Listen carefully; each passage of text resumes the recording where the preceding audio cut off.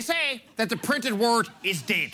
But every so often, there comes a headline so striking, so indefectible, that its writer has deftly crafted its alphabetical contents as Michelangelo once spawned the David from a single block of marble. This is such a headline.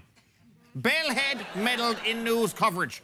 For not only is the headline subject Kevin Crull, the president of Bell Media, in fact, the head of Bell, but also it appears he's a bellhead.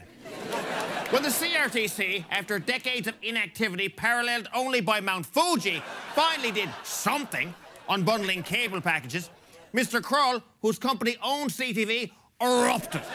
After the unbundling announcement, CRTC chairman Jean-Pierre Blais appeared on BNN to talk about the decision. Bell owns BNN. The Bell head called CTV News, which also Bell owns, banning the head of the CRTC from appearing on Don Martin's Power Play, local newscast, and he would have been cut from a story on the 11 p.m. national newscast had chief anchor Lisa LaFlamme, for whom my heart burns with the heat and fire of a thousand suns. Ah, La Flame. How the flame burns for La Flame. La Femme. La incroyable. Ah, where was I? Ah, yes. Ms. La Flemme. And she has every time I ever called her said no. And the story ran. The bellhead later apologized for meddling.